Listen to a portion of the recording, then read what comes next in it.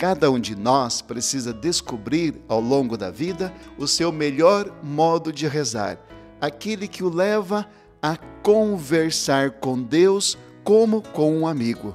Por isso, diz Jesus, não é preciso multiplicar muitas palavras, pois o Pai do céu sabe do que você precisa.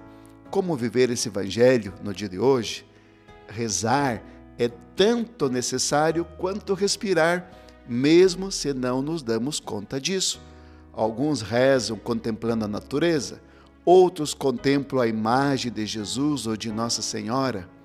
Dom Bernardino Marquió, bispo emérito de Caruaru, Pernambuco, me contou que muitas vezes a sua oração é breve. Passando próximo a Jesus Eucaristia, ele diz: Jesus, te amo. Já a bem-aventurada Chiara Lute rezava dizendo: por ti, Jesus. Assim, ela oferecia a Jesus as dores de uma doença que depois a levou à santificação. Que bonito isso!